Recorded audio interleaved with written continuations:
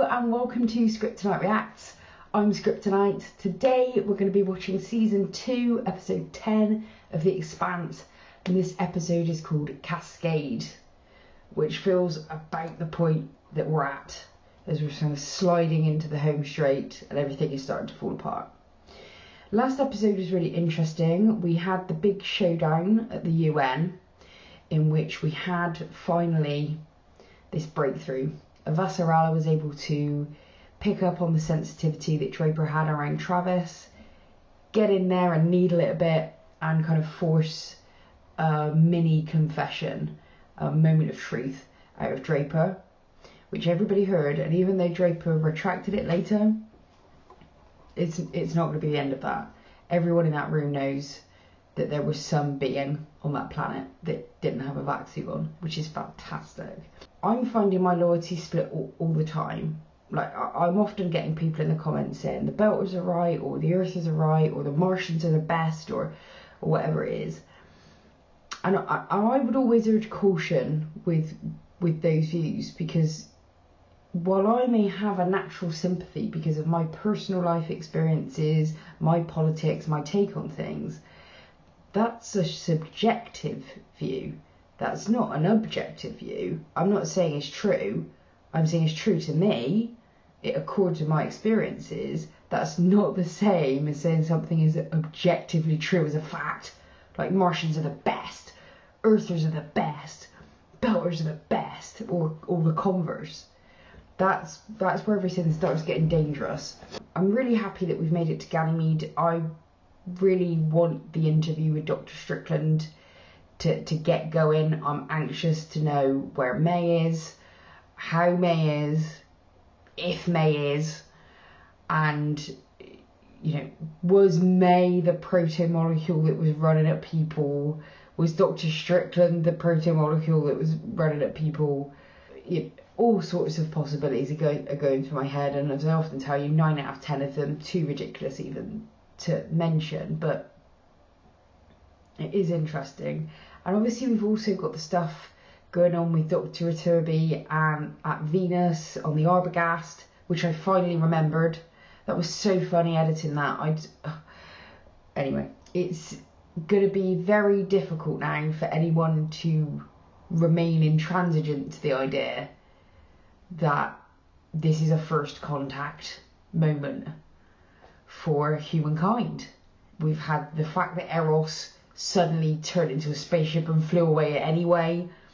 Now we have, you know, there being the life on Venus in the vicinity of the um, impact point where Eros landed on Venus. We've got Draper's words at the UN. There's just this stack of evidence that is starting to pile up, which is going to become impossible to ignore. And I'm very interested to see how different factions and figures in this respond because this sort of stuff does drive people a bit bonkers and, and I'm all in for that. So I think that's enough as an introduction. I think this could be a really interesting episode, so let's have at it. Previously on The Expanse. That was fucking horrible what happened on the Somnambulist. But I don't necessarily think it would have been any better if our team hadn't intervened. I'm pretty sure they'd have just killed them and taken the stuff, to be honest. They didn't look like the most reliable of people.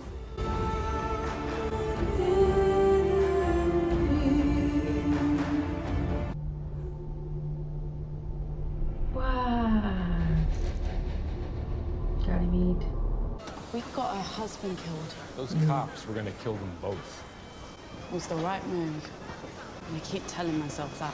If we do what we came here to do, I'll figure out a way to live with it.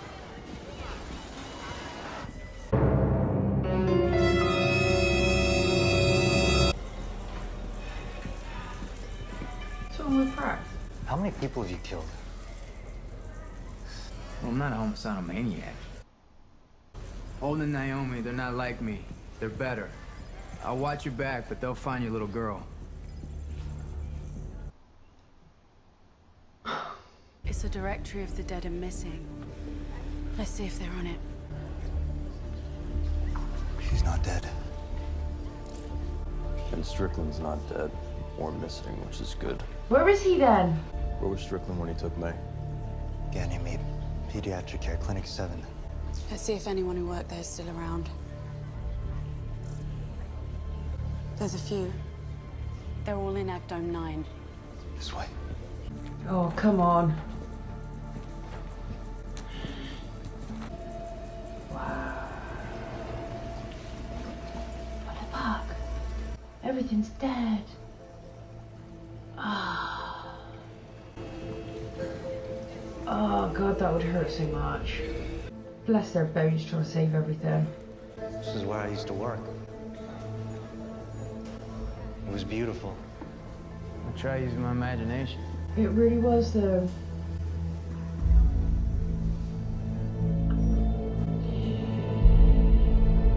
Well, Sergeant Draper failed. And then she snapped because she couldn't deal with it. So you think she's lying? I think she's crazy. Wow! You're an idiot! She seemed perfectly sane to me. And after Eros, my definition of crazy has contracted significantly. If she has zero credibility. There's no point talking to her again. Point is, something was bothering her and she was ordered to suppress it. Mars is using peace as a distraction. Peace as a distraction. God, I wish I could disagree with you right now. Our apologies if we kept you waiting. Not at all. How is Sergeant Draper? In her quarters, resting. And in no frame of mind to answer any more questions, I assume. I'm afraid not. The traumatized mind is a dark place. But rest assured, we're here and happy to help any way we can. We have Earth's best doctors at our disposal. Thank you. The medical team at our embassy is more than able. And if it's absolutely necessary, we can arrange for further testimony after the sergeant is fully recovered. Who was the officer who spirited Sergeant Draper away? A friend of Sergeant Draper's family here to offer moral support. He didn't seem like the supportive type. Madam, your ships are still heading towards ours at Ganymede. So unless your intention is to have us shooting at each other again, let's do what we came here to do. You really fucked up in there, Gunny. I know. But I know I saw something. Oh, yes. A man standing on the surface of Ganymede without a vac suit. It happened! But you believe what you saw is true because you need it to be true. To explain how your team was killed. So what happens now? Now you go home back to Mars. And then what? Then we do what's best for you and for the Corps. I'd like to see the ocean before I leave. Sorry, you're under restrictions now. What a prick. You mean I'm a prisoner? No. I mean, you're a Martian. It takes weeks, sometimes months, to acclimate to these open spaces. You saw what happened when we stepped off the ship. You're breathing natural air. You're trying to orient yourself with that damned horizon. A transport is coming to get you. You'll be shipping out day after tomorrow.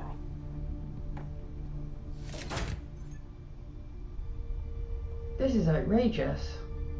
This is actually making me a little bit Open the shades. want to cry with rage. Bobby, you go get that fucking sea.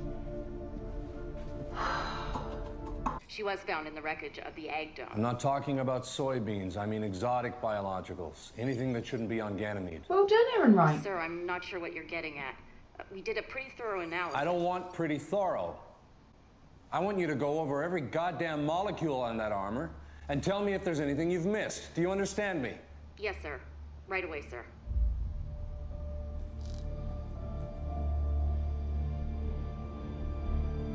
Hmm.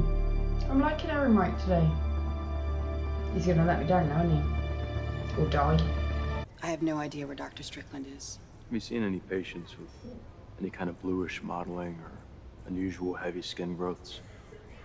Growths might have been glowing. I haven't seen anything like that. What is it? Something we heard about. It's probably just a story. Then do me a favor and don't spread it around. People don't need anything more to worry about. The battle took out three of these domes, but we managed to save two. Wow. We've got things moving in the right direction now. We're gonna rebuild this place. I love that spirit. This doesn't feel like Eros, does it? Maybe it just hasn't started yet. This yellowing indicates a nitrogen imbalance. We have phage-resistant bacteria in the hydroponic lines to prevent that. Which means that something got in and killed the good bacteria. Which means the hydroponics have been contaminated.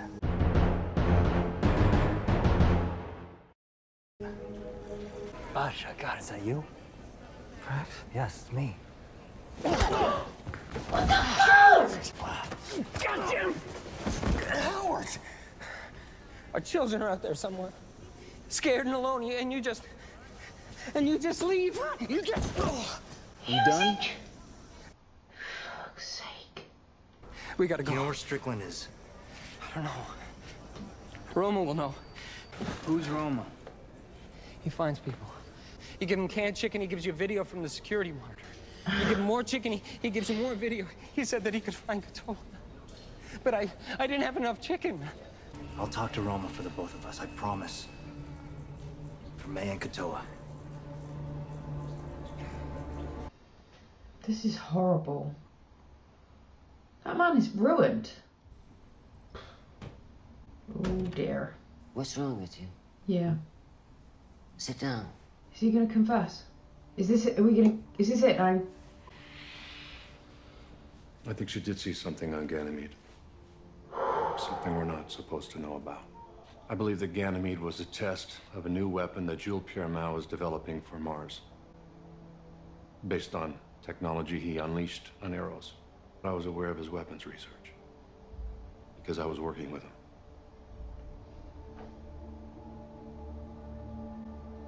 You've known for a while. Ever since you had Frank de Graaf killed. I know it makes no difference, but I had no hand in that, Christian. But you covered it up. You protected Jules.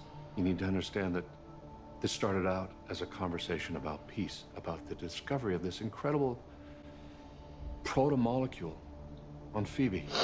God. This was a way to guarantee the safety of the Earth. At a terrible price. You're the one who taught me that Earth must come first. And Eros, a hundred thousand souls. Did I teach you that? If I had known what was going to happen on Eros, I would have stopped the project and Jules Pierre Mao along with it. And you know that! Eros nearly destroyed this planet. You will have to answer for your part in that. I know. And I will. But what we need to do right now is keep the system from burning down. If Ganymede really was a test, then this is... It's just the beginning. Shit! Nah.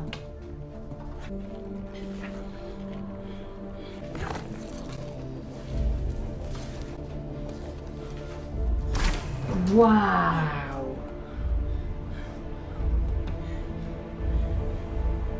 Go, Draper, go! Oh my god, that made me feel a bit sick then.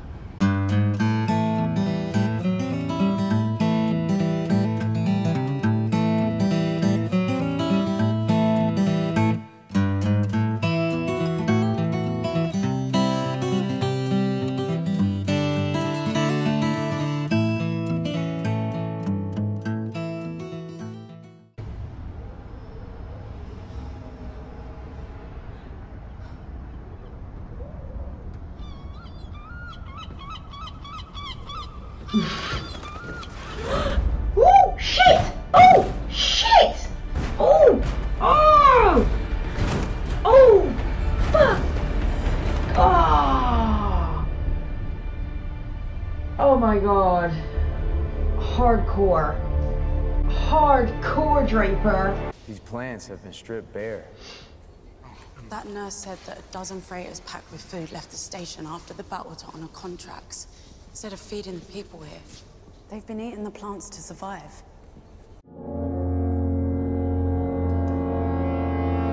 You Roma?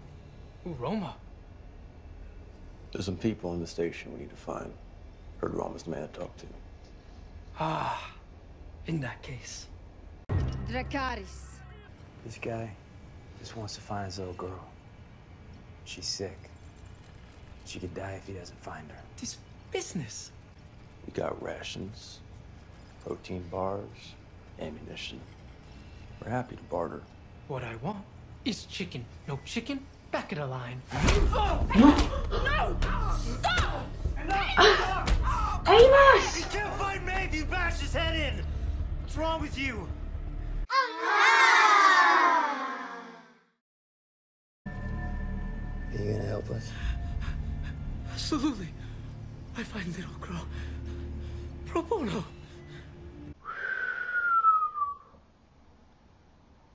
Holy shit! The change in Jim! He totally approved of that. Whoa.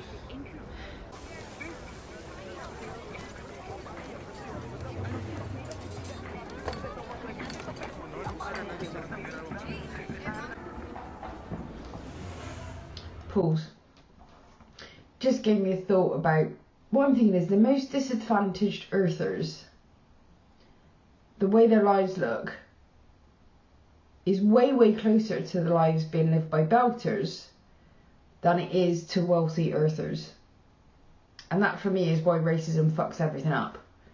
Because it convinces people that they've got more in common with people of the same skin tone who are exploiting them than people with a different skin tone who are also being exploited by that same group of people. And it stops them coming together to do something about it. Play. My source inside the Martian embassy just informed me that there's a lot of activity around Sergeant Draper's quarters. She done a runner. Because she's no longer in them.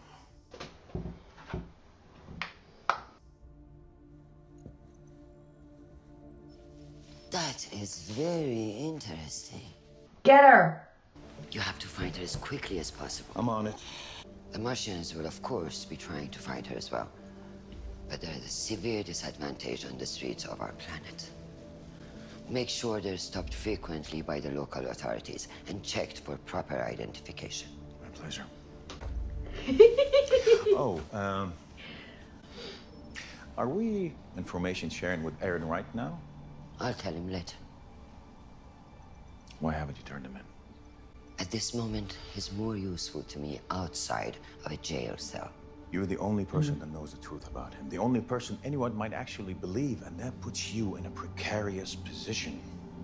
Something Yeah. changed with Errinwright. Maybe when he saw Eros hurtling towards Earth, with no way to stop it, that it was time to make amends. I wasn't trying to be funny.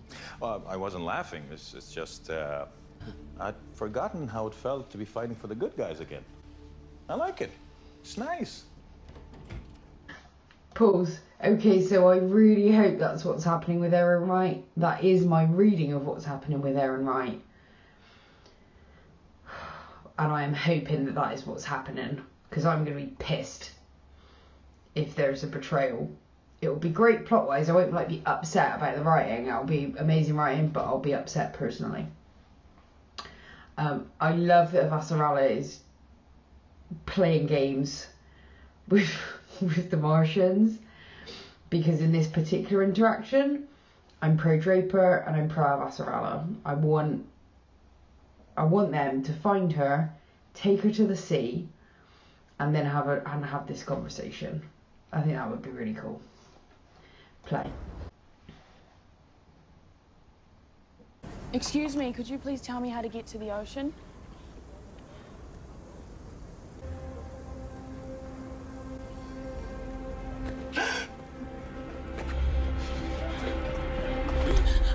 Don't take it personally. The clinic stopped giving Peter his meds two months ago. Makes him forget his manners. And his reality sometimes. But I can tell you how to get to the ocean. I don't have any script.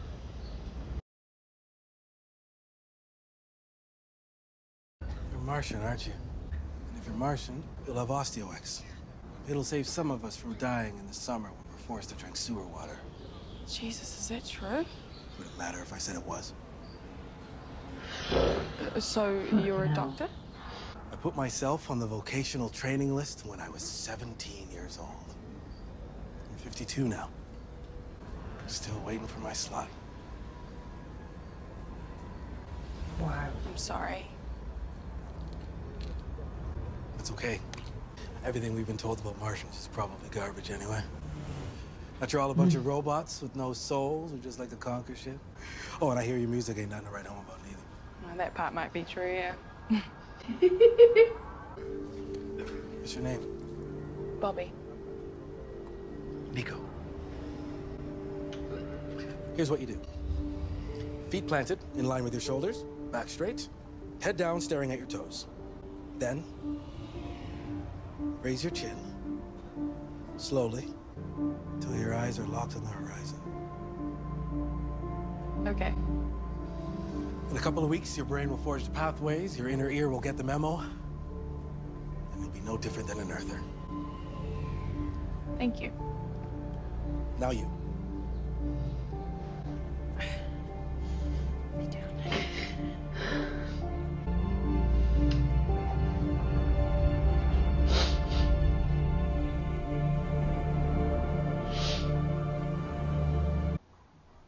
Oh, God, Jesus, this show. Pause. Oh.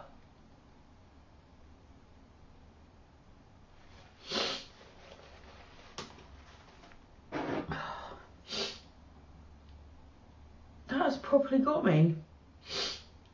That was beautiful.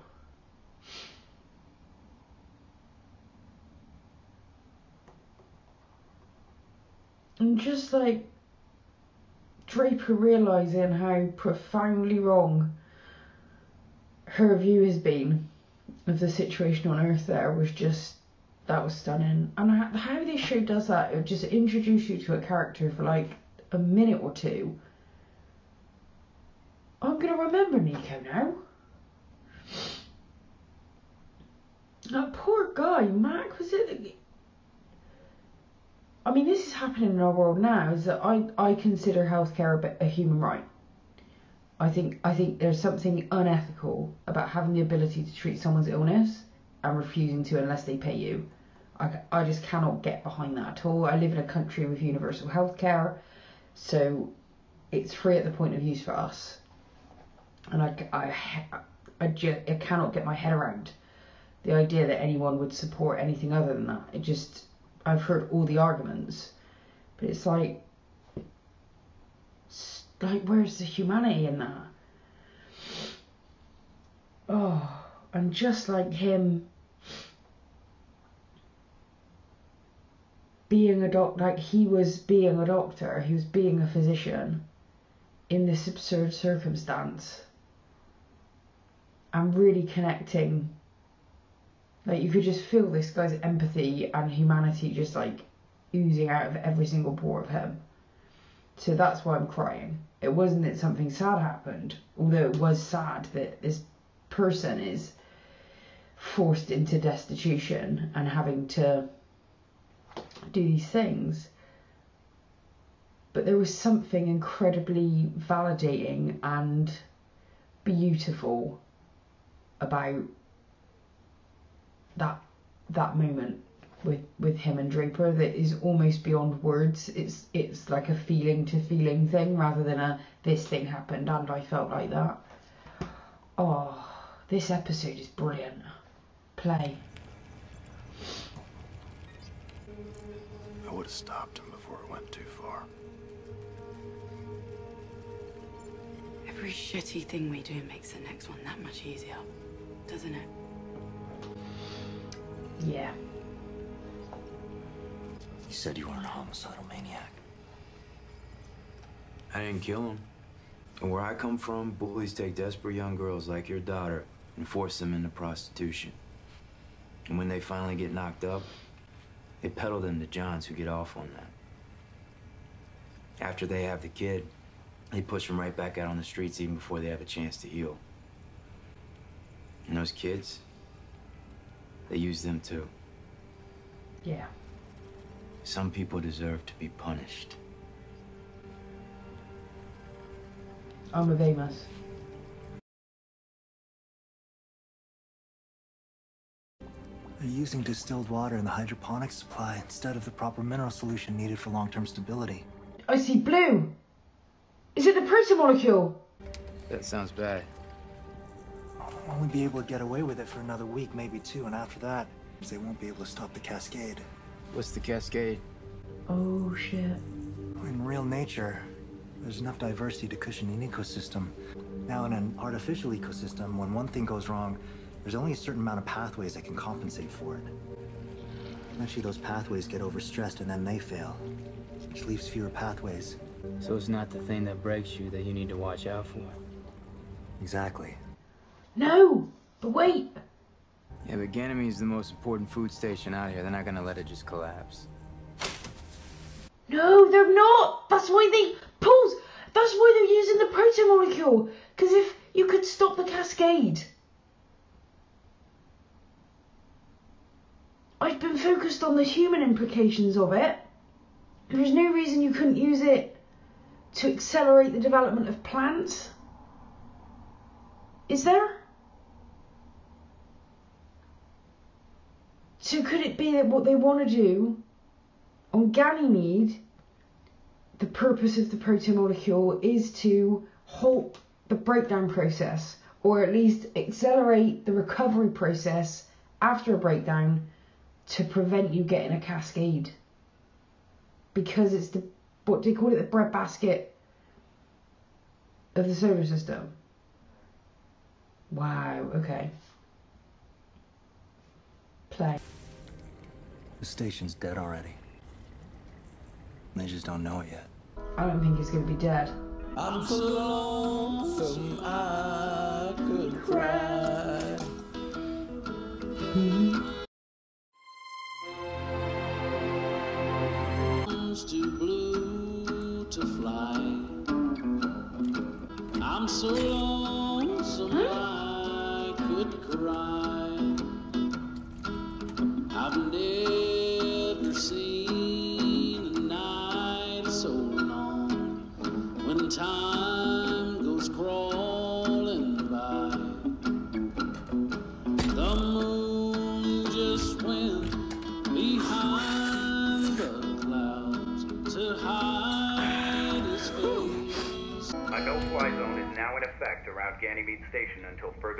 further notice. Any unauthorized Uh-oh. ships entering Oh, or this leaving the bad. zone is fired upon without warning.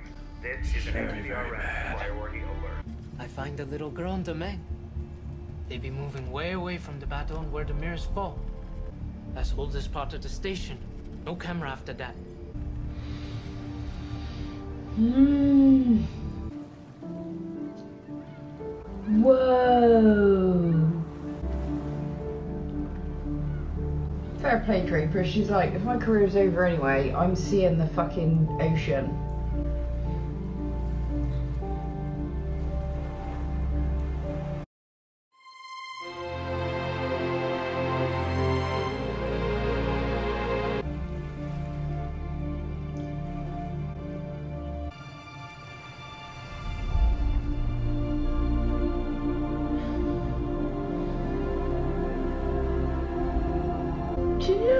What that would feel like?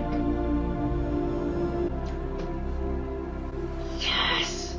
You take it for granted. You're right about that. Your people are on their way, so we have to be quick. Uh, quick about what? We never finished our conversation. The thing you saw on Ganymede, it was real. This is what attacked you and your team, isn't it?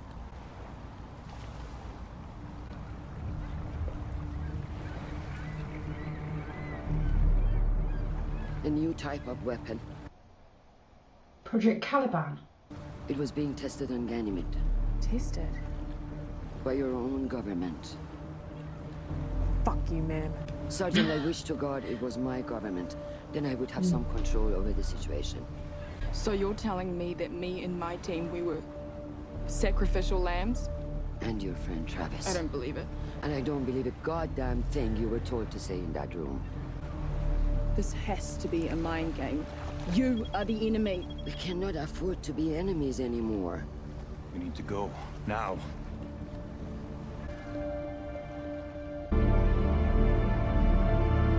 Yeah, I thought so.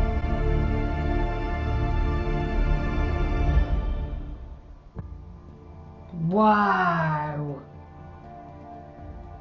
Wow! That was so good!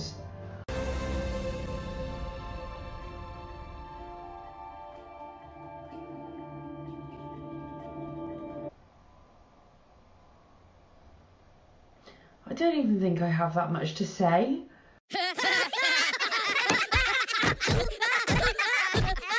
Because I did a couple of pauses and they were about the things that I was spoken about anyway. But I am just really, oh my god, that was such a great episode. I'm loving that Avasarala was able to actually validate Draper's experiences. They're so important because she is, and showed her so that she could see it with her own eyes, and I think that will help in the coming episodes where she's going to have her rea- her sense of reality tested repeatedly. The people that she trusts most are going to be attempting to undermine her sense of reality. And the people that she least trusts are the ones who will be able to corroborate and validate her experiences. That's going to be a real challenge for Draper because she is a full card carrying convert to her service and her role in the world as a Martian.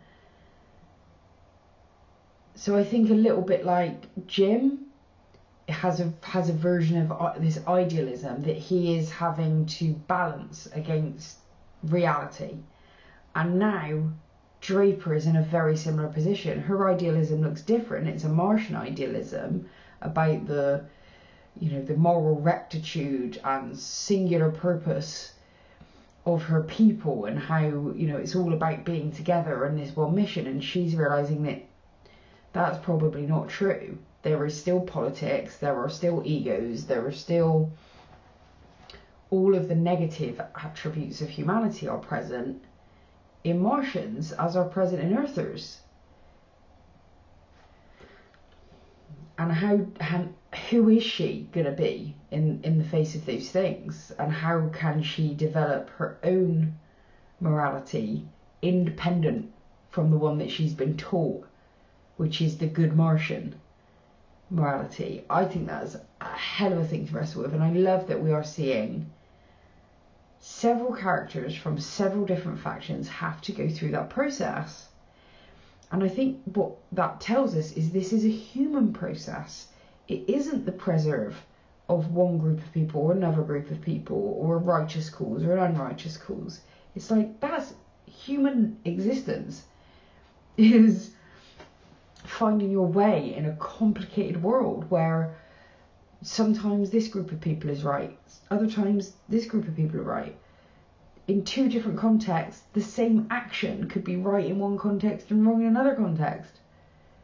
It's just a constant process of evolution and adjustment to stay on top of your own morality. And I love that this show is having characters wrestling with that across the board there's not just good guys and bad guys. And everyone is doubtful. Everyone has doubt. Fantastic. I, I, the way that Errinwright came around this episode was brilliant. They wrote that so well. Because, first of all, we had him really effective in the UN and really pushing behind the scenes for that um, for Draper's suit to be properly analysed because he want, he was now realising, oh shit, this is this is the fucking proto molecule, isn't it? You could see his cogs whirring and going into place, and you saw that a bit in the last episode as well, but it was more visible in this episode. And then the way that he walked into that office, I didn't actually say anything, but the his body language I mean, Shawn Doyle played the shit out of that scene because his body language from the moment you saw him enter that room, I don't think anyone was in any doubt about what was going to happen. It, I really was convinced from his entry that this is it. This is the t- this is the conversation that they've been waiting to have. And now Avasarala is in a very ropey situation because I think she believes Errinwright that he entered into this for, if not so far as good reasons, it perhaps wasn't as nefarious as we might have thought. And then over time, he's he slipped and he slipped further and he slipped further to the point where he was covering up the murder of Frank de Graaf, which I'm still pissed about. And Avasarala Wright is. Is he redeemable? I'd like to think so. He didn't kill de Graaf, as far as his account goes. We could find out different, but assuming, taking his case at face value, I th- would like to think I'd make the same decision as, as Avasarala. To take the utilitarian approach, try and keep my own kind of emotional reactions out of it as far as possible, and just stay mission focused for the time being. But make it absolutely clear that there will be an accountability moment. This just isn't that moment. I'm uneasy that no one else knows about this, but then who would we trust? I'm not entirely sure she could tell the Secretary General without him feeling compelled to act. And I have not seen another person in this command and control structure that I would feel comfortable sharing this information with. She can't tell any of those that freaking general guy, the, the leader of the armed forces now. He's, I mean, he's just stupid. He's uh, how he's in that position has to be nepotism because he's an idiot. Same for the science guy who was with the Turby. It's like, how are these people in these roles? It's got to be privilege because it's certainly not talent.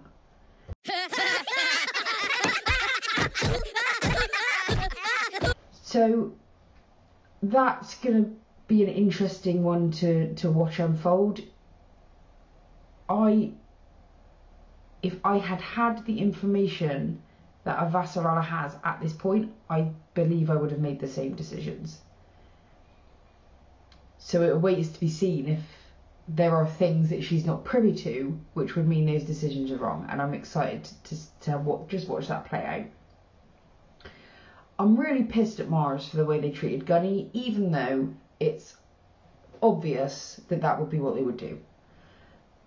I don't think Earth would have behaved any differently. I don't think about a community would have behaved any differently. They needed her to keep the party line, and she didn't, and that's going to cause them problems. So I totally understand it from, you know, an organisational point of view. But I'm still fucking appalled at it from a moral point of view. I love that she escaped. And I mean, that escape, however long it lasted, maybe sounds like a couple of hours.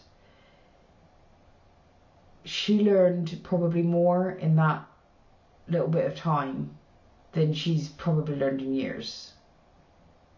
And what's happened to her now is that she has seen for herself Earthers and Earth itself are not exactly as she has been led to believe.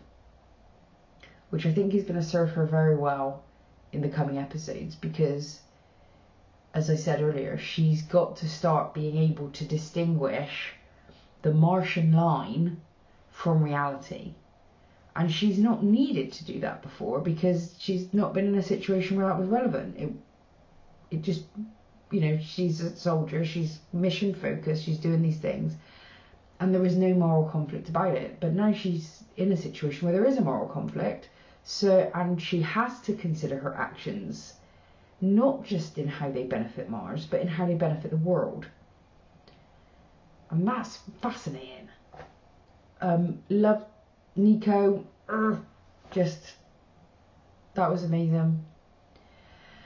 Um, meanwhile, on Ganymede, we have this situation where they're trying to find Mei. They need to deal with Roma, the um, interesting chap. And Amos batters him half to death, of course, but not to fully death, which was a point that Amos wanted to make clear. That's not the actions of a homicidal maniac. But you do just get the idea of like this absolute stench of decay on Ganymede. You know, was it massively different to the Earth market ultimately? People with far too few resources squabbling over them because survival. And so people are sort of, you know, dragged into the most base version of themselves, not because that's necessarily who they want to be or who they would be in a different context, but because survival is our primary drive. And in, when it gets down to brass tacks at the level we're looking at on Ganymede and sections of Earth, they will die if they don't develop the ability to fight for those resources effectively. So I think it's quite frustrating when people who haven't been in that circumstance apply their version of morality to a totally different situation in which your version of morality is bullshit in this in this place.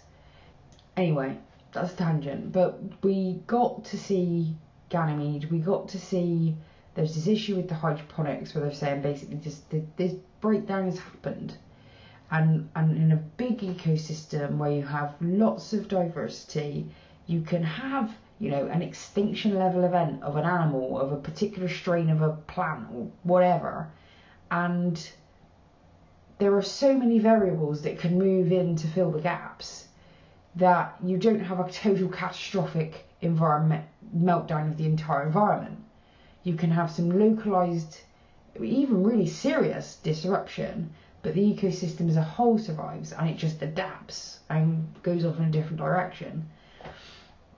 But what Prax was saying was with such a, an undiverse ecosystem in this environment, if something goes wrong here, it can domino effect and then everything dies. And Ganymede is a crucial supply line to the belt so what are they going to do? And that led me to think that perhaps there is another, there's a repurposing of the proto-molecule that could have been made. What if, rather than just people or people at all, that the focus of the testing on Ganymede was in the plants. So I like that as an option. I'm not saying that's what's going to happen, but it seems to me a plausible a plausible thing to to use the proto-molecule for, whether that's in the plot or not. And it did look. I mean, that might just be a miss a misdirect, but those little things, there it was blue liquid running through it. And I was thinking oh, that would be amazing if it if that's what's happening, if they've actually repurposed it to. You know, there's all manner of ways that could help. You could prevent the cascade, you could potentially speed up the growth process. Because of the way that it creates this sort of evolutionary acceleration, could you even create new kinds of food, new kinds of plants, new medicines? But then, like on the negative side, I'm away with the fairies now. I'm like, can you remember the program Jayce and the Wheeled Warriors? thundering across the stars to save the universe from the monster minds. Jayce searches for his father to unite the magic root and lead his Lightning League to victory over the changing form of Saw Boss. Wheeled warriors explode into battle. Lightning strikes. What if the plants now started developing and fucking coming to life in their own version of sentience because of the. Oh my god, I'm, I'm off. I'm off. I'm like, fucking two seasons down the line now. That's what I liked about this episode. It seemed for me this episode opened a lot of doors. And it waits to be seen which of those the show is going to choose to go down. But this was a really, really good episode for me. I didn't need any dramatic action. This was a lot of introducing us to new characters, introducing characters to new information, introducing us to to new sections of society and and elements of this story, and I loved it. So this this is one of my favourite episodes of the season. I'm not even joking. Until the next time, bye bye. Thank you for being.